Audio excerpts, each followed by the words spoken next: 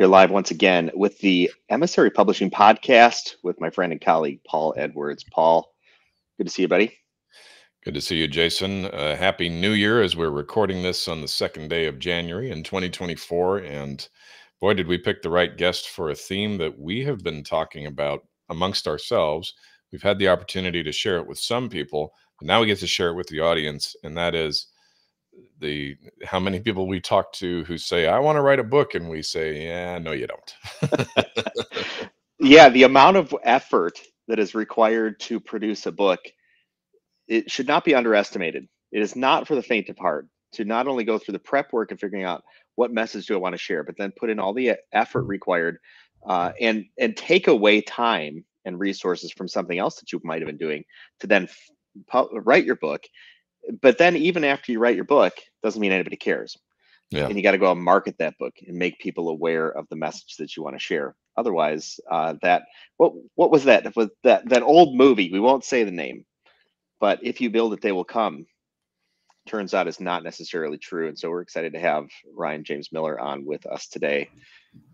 Ryan welcome to the emissary publishing podcast What's up, guys? Happy New Year. It's good to be here. Year. It's Miller time. Something like that. Something like that. well, the title the title of this podcast is Stop Wasting Your Time with Ryan James Miller. I'm intrigued. We talked very briefly before the show about what's on your mind. You you've written a book and you exposed some secrets about how difficult that was, why people should maybe pause. Yeah, I guess I'll just uh, get right into it and let it fly. Um, you know, when I when I set out, when I finally committed to writing this book or a book, uh, it was about three years ago. And at that time, one of the things that I was absolutely adamant that I would not do was write a book to create another business card for myself. Hmm. That's what everybody said was, "Oh, it's a great business card. It's a great promotional tool." And I was like, "Look it, I don't need another business card." You know, like that that just that seems so pointless to me. Um and anyway, so through a series of events, I committed to writing a book. Um, the book that I actually started writing, I wrote uh, five and a half chapters of, stopped, took about a, a month pause and then uh, set out to write this book, which I did. And I just like as I reflect back, and you know, even as we were talking offline right before, like one of the things that comes to mind for me is like we we only have like it's so cliche, but we only have so much time in our life, you know, and that's personally, professionally, uh, everything. And so, why would you ever waste so much time writing something that you didn't absolutely love, were fully invested into, completely cared about, and were willing to go literally to hell and back for. Mm. And I just feel like if you can't say yes, and I know this is just me and not everybody is like me, but if you can't say yes to, to all of those things, I feel like you should never do it. Yeah. There are so many better ways to spend your time, your money, to uh, ways to market your business than to write a book if you're not going to be fully in it because it is just brutal. Hmm. Yeah. So how about that?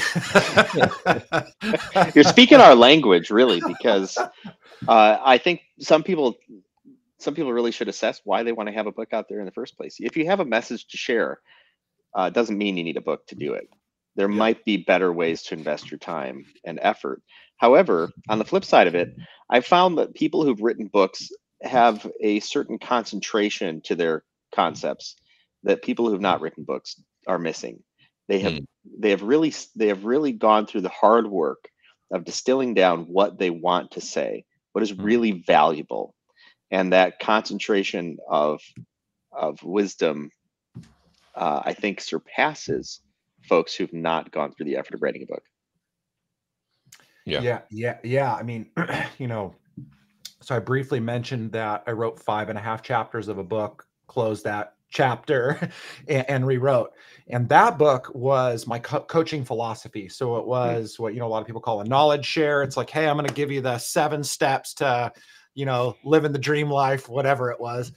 And the reason I stopped was I was really just praying through as I was writing the book and trying to just, as best as I could, hear from the Lord, like, what am I supposed to be doing here? And, and, and what's the purpose? And I got to this place of thinking to myself, like, this is so stupid.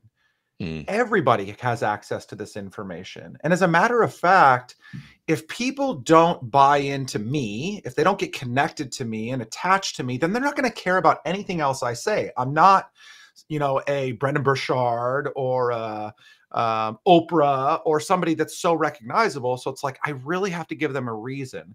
And so as I started thinking about that reason, the reason always came back to my story. And I've lived a fairly interesting life. And most people are like, yeah, yeah, whatever. But I'm like, really, in 45 and change years, a lot's happened to me. I've been through a lot. And I thought, that's the story I need to tell is my story. Mm. And so, Jason, to your point, which was really interesting, was as I started writing, the reason really started to develop. And it was it wasn't even as much telling my story because again like i'm just some random guy from southern california nobody really cares to hear my story but i started the more i wrote the more i realized that i was giving other people permission particularly men though that's not necessarily the intended audience but giving people permission to be vulnerable in the mm. things that hurt the most and yet that give us the greatest opportunity for growth and gain. Mm. And so that that it's interesting that you said that because I haven't really articulated it like that before, but it was like as I was writing, the purpose became more clear. And even now, post publish and marketing it, it's becoming more and more and more clear. But it's really hard to figure that out oftentimes until you get started in the process. Hmm. So you're coming now.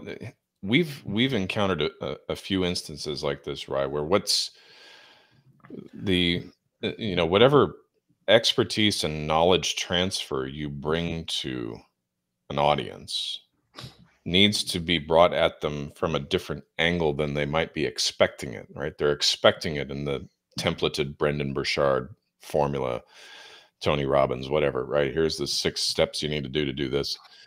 And now you're coming at them from an angle no this is who i am. And i also happen to do this right?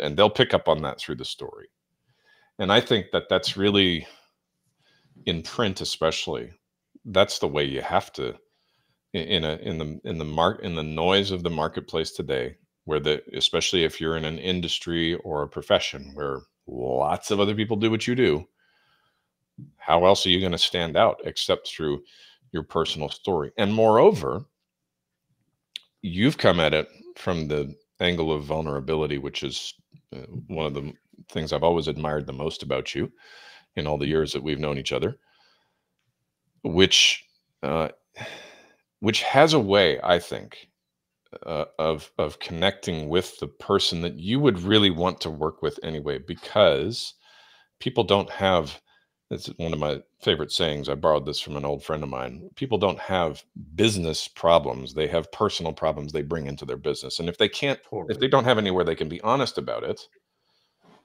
then they run into the, you know, up the creek without a paddle scenarios that are so common to, to people who do well and achieve in in business. And so I think I think you're coming at it from a the kind of angle that we would encourage one of our authors to do. And in fact, I, Jason, we've done that with a couple of people that we've spoken to. Well, and and to your point, something that I think is really important in the midst of that that you said again, I think this is where keeping on even theme with this specific episode, I think that we can completely waste our effort effort and energy by trying to put a new spin on something old because we want to stand out.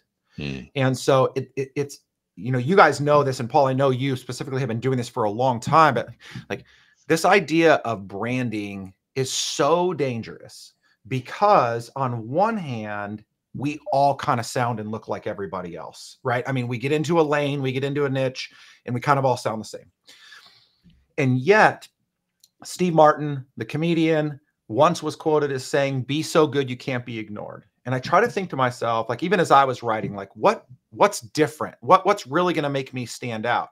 Yeah. And for me, it went back to, and maybe not everybody in your audience is going to relate to or agree with this, and that's totally okay. But I believe that every single one of us has been uniquely created by God and wired in such a way that even though in many ways we share similar themes, ideas, beliefs, whatever, there is something unique about every single one of us. And so mm-hmm. I think that that is the important thing to bring into whatever story you're trying to tell, whatever book you're trying to write, whatever concept you're trying to share. It's like we all would read Stephen Covey's Seven Habits of Highly Effective People and say, okay, all seven of those habits can apply to my life, my business, whatever.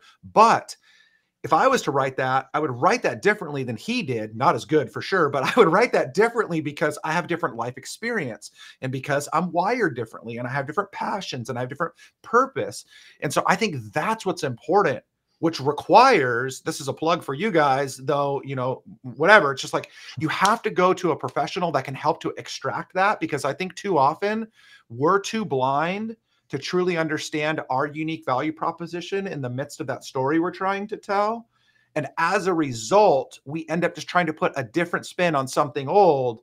And again, it just becomes a total waste of time because all it is is just another version of something that's been written 700 times before. Yeah. I think one of the things that stands out for me from what we're talking about here is music is highly subjective. Mm. Right now, if I if I want to listen to music to relax, there's a certain type of music I listen to relax to. Right, it tends to be soft.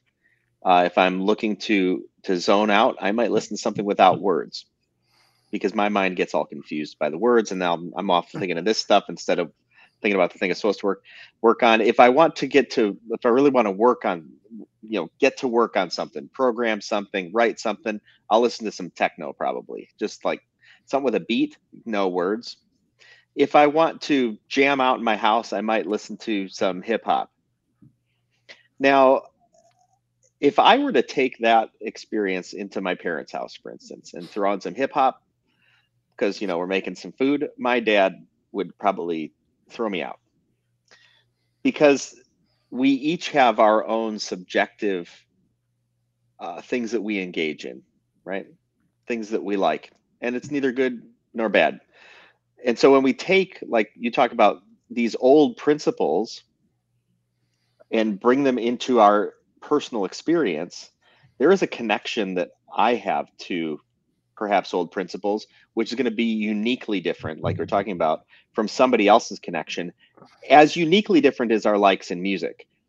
I might hate your like in music, and I might hate the way you say you know some given principle. I might completely disagree with your lived experience of that principle even though it's your lived experience and you might completely disagree with mine. And we come to these i think old principles and this is the second thing i want to talk about the the we come to these old principles which are um, they're they are in one sense objectively true and then subjectively lived out. One of those is the early bird gets the worm. We might all agree to that right we might also agree with good things come to those who wait. Both of those are are true, but subjectively lived out. You cannot always be the early bird. Sometimes bird, you know, early bird. Sometimes that's a terrible idea. You cannot always. You're not always going to get good things just because you wait. So this this idea of subjectivity, even old principles, feel brand new sometimes, and we engage with these old principles from based on somebody's unique viewpoint, unique delivery, unique working out of those principles. And I and so I think you know Ryan, one of the one of the things I see in your work is that you you might have these old principles, but you live them out in a unique way. And someone else, someone is going to uniquely attach to your voice and hear you when they will not hear somebody else and their unique delivery of it or their unique life experience of it. Yeah, no, I I think that's super duper good. And you know, one thing I try to be really careful of myself is we live in a society today where we're always looking for the newest, latest, greatest thing. And there are definitely some new technologies and ideas out there that are super helpful to us. but I've really tried to go back to the quote unquote basics of things. And so, again, I think it's so important that while I'm trying to put my spin or tell my story, that I'm not avoiding the simplicity of what I'm trying to communicate. I'm not trying to uh, I'm not trying to avoid the basic principle or the old school style. Again, like I referenced Covey's 7 habits of highly effective people. Most people don't even know who Stephen Covey is or what that book is. If you were to ask them, like, what is the most popular book on habits? Most people would say Atomic Habits by James Clear. And I'd say that's a fantastic book. I really love that book. I love the way James Clear writes. And yet, if you read it, you're going to read most of Covey's principles restated in Clear's voice. And so it's like, we don't always have to go to the new thing. And so, again, like as I was writing, that was one thing that um, my team was super helpful with me on was just wrangling me back in. Like just tell the story. Don't overdo the a- analogy.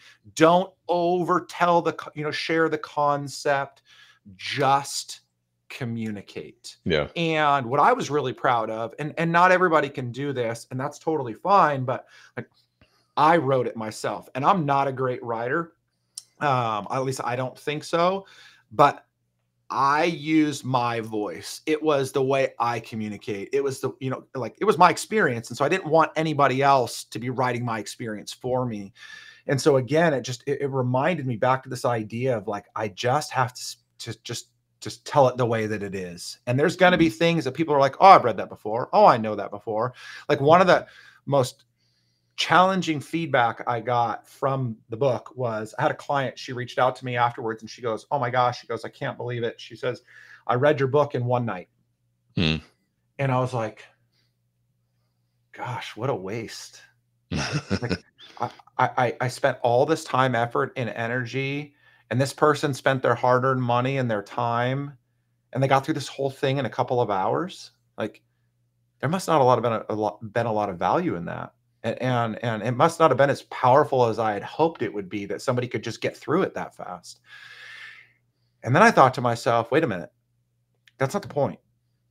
Like my point was to tell my story, and hopefully it made an impact. And come to find out later on, we would we would have a conversation, and she talked about all the ways that it impacted her and all the things that it did. So again, it was like I don't I don't need to overdo this. I don't I don't need to make it bigger than it is. I just need to be and to do as I'm called to and through that, you know, the, the right impact is going to happen. Hmm. Our um our newest author this year we're working through finishing up his uh, manuscript right now. And his unique story is having served in every major U.S. conflict from Vietnam to Afghanistan. Not many Whoa. people can say that. And what's become so fun about this, uh, as the editor, right, as the person looking over this, and he's doing the writing, it's in his voice, you know. Um, but we're he's he's able to take examples that you can look at in history in history that for most of at least for our generation is still pretty fresh right? That's not mm-hmm. long, not many years before all of us were born and stuff we grew up hearing about and learning about.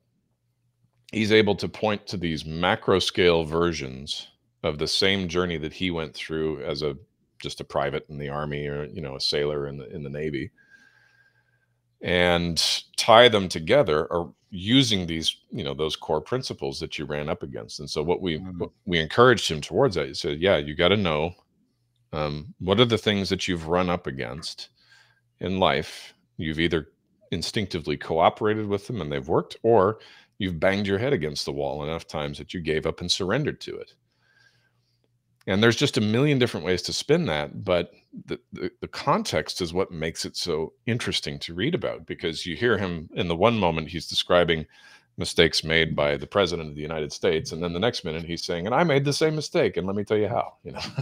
So it's um it's it's wonderful when you start to when when it becomes clear to you what really sticks out and matters and can be taken from one person like like a flame on a candle to the next and they can still use it and you draw them towards that principle mm. with your authentic story the background that only you could have lived through and no one else can tell quite the way you do with the detail and the perspective that you held about it at the time maybe versus how you especially if you if you think about it differently now yeah well and i think to something you said it just makes it it, it, it makes me or reminds me that that's why working with the right people to do this is also so important again like I think sometimes people enter into this and they think to themselves like I'm going to do this as cheaply as possible because I just I need to get it out there. And again, I think that just goes back to the theme like what a waste.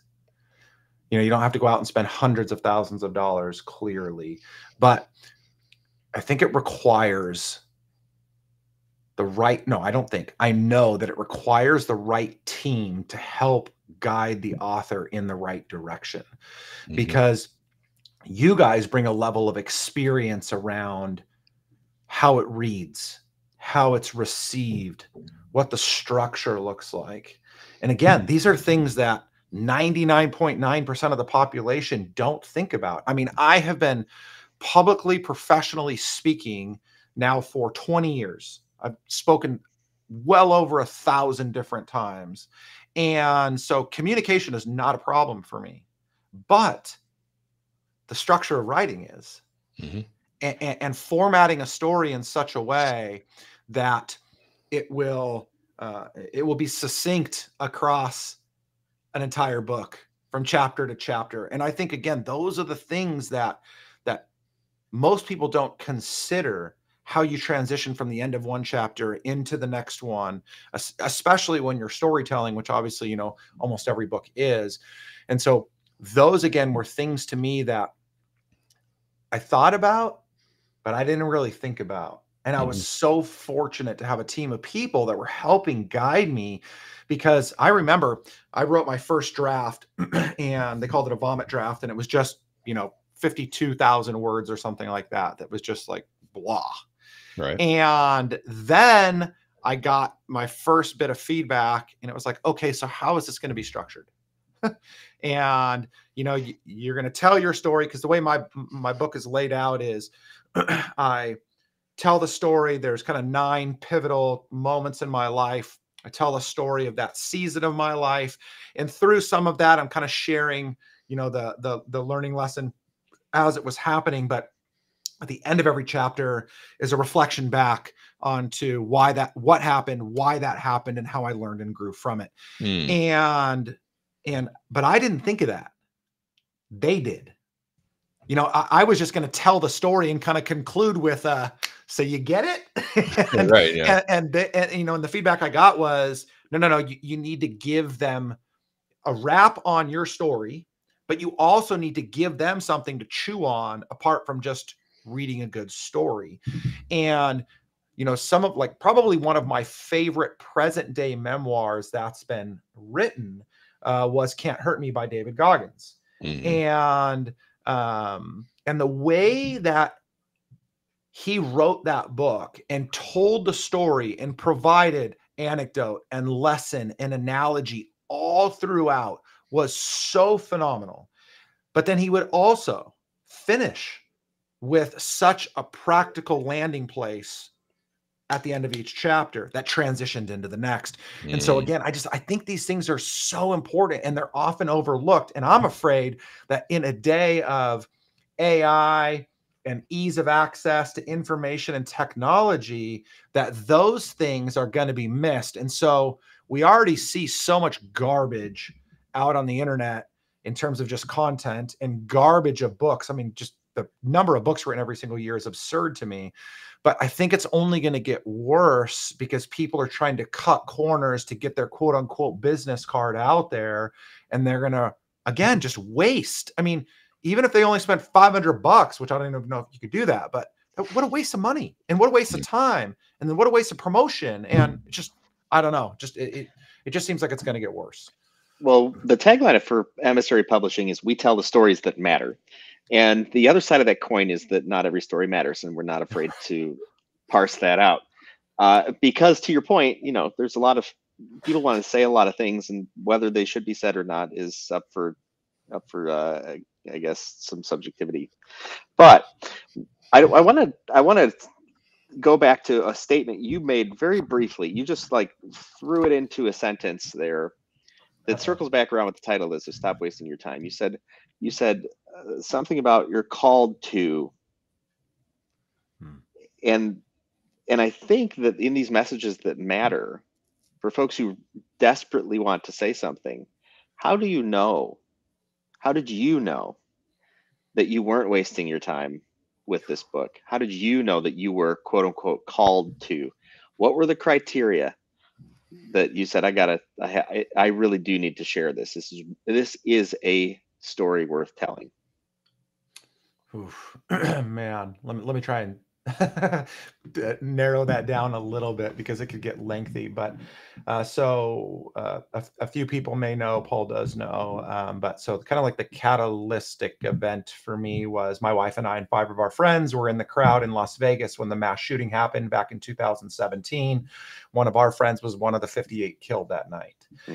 And so on the back end of that, um, I was a pastor of a church at the time. I was coaching and speaking. And so I was out there in the public a lot. And I was getting asked over and over again, like, you know, more about what happened and the story. And then people started saying, hey, you need to write a book. And I said, absolutely not. I said, I am not going to write a book that profits off the back of my friend that was killed, the other 57 people that were killed, the thousand people that were injured or the 22,000 people that will have their lives wrecked forever in one way or another. I just, I'm not going to do it. And it took three years, three years for me to even entertain the idea of beginning to tell that story.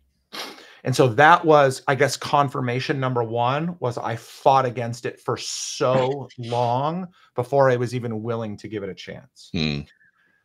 Secondly, so um I, I, again like this this loses a few people but if my life if god creates me personally ryan miller if god creates me with intention and purpose to go out and live a life that he calls me to to impact specific people to serve my wife and my whatever if he does that that then that then that means that every single moment of my life has worth and value there's meaning.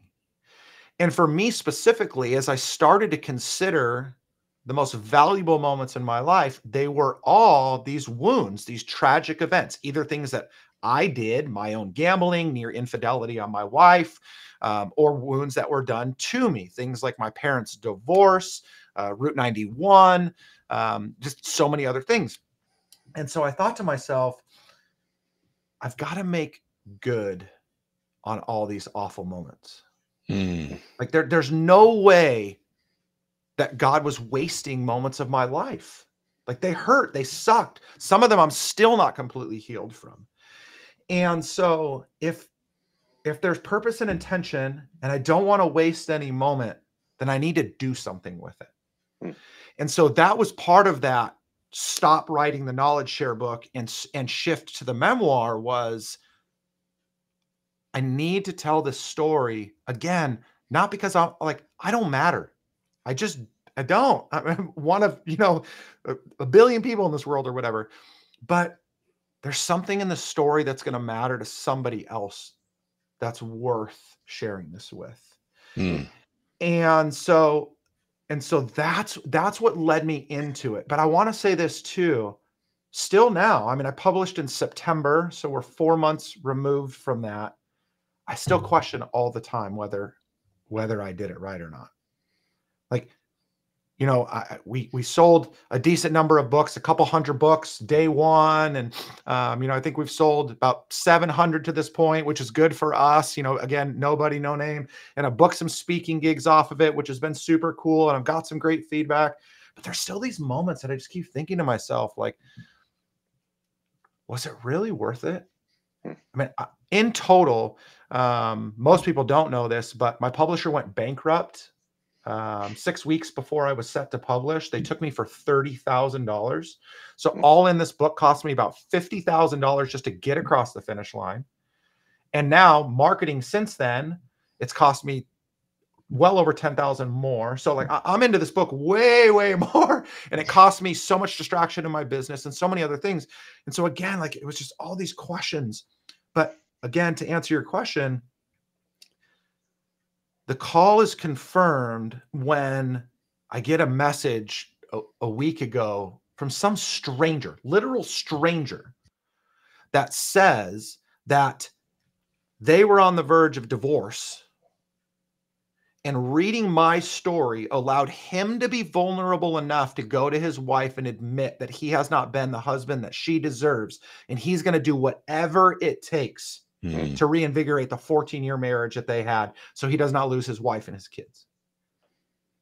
And so I don't think we always get that call and that confirmation from the moment that we decide to write. I didn't. Like I, I felt like it, like I was going in the right direction, but I think it's that constant affirmation over long periods of time, which again goes back to you, you better really mean what you're about to say you, you better have really good purpose and intention for the story that you want to write because you're going to battle for days, weeks, months, years, whatever, around whether or not you made the right decision.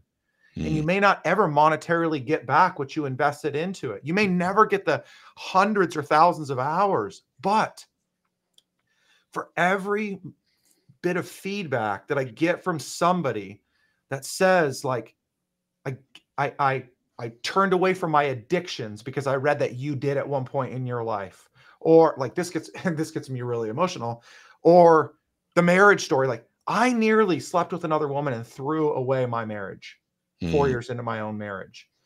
And so to read that somebody made a similar decision just because of reading my stupid story, like it's so insignificant and yet it means the world to me. And Mm. so that to me is just the grace of God in reminding me moment by moment, hopefully for the rest of my life, that everything that I gave, gave over and all the sacrifices that I made to not just ex- experience, but actually writing, that it was worth it. Mm. One of the sayings that I uh, really love is when's the best time to plant a tree? The answer is 20 years ago. And I look at sometimes the things that we uh, invest in, perhaps like writing a book, a story that we think needs to be told.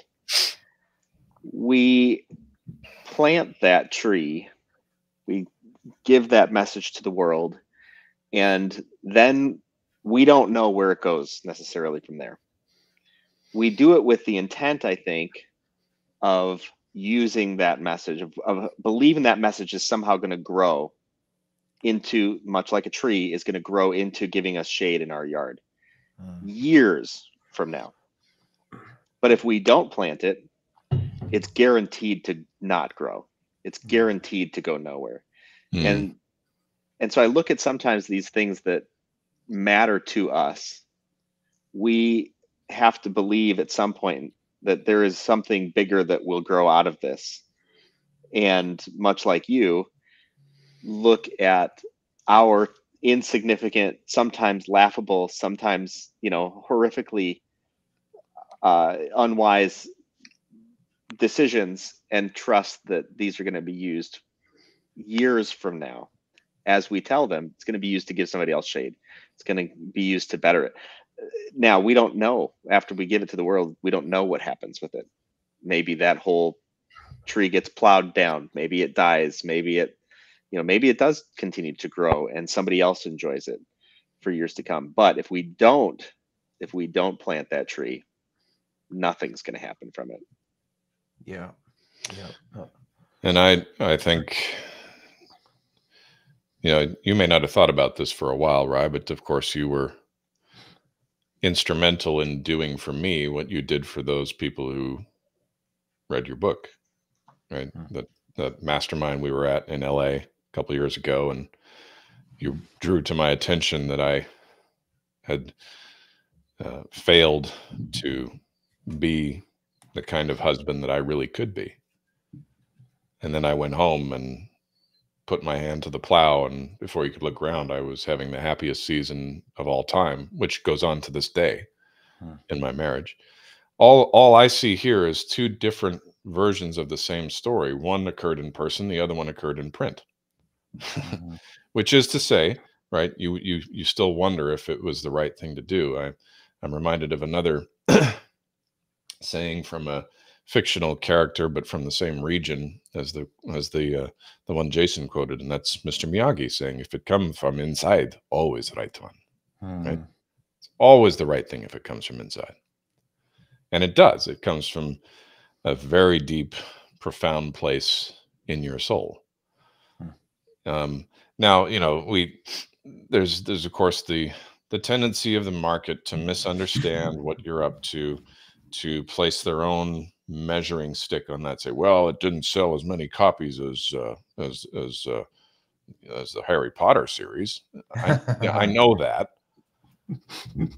I understand that, but that's that's really not a useful measuring stick for Mhm. what we're talking about here um, because we we're, we're talking again you're you're in, on the same sheet of music as we are we're talking about the stories that matter Mhm.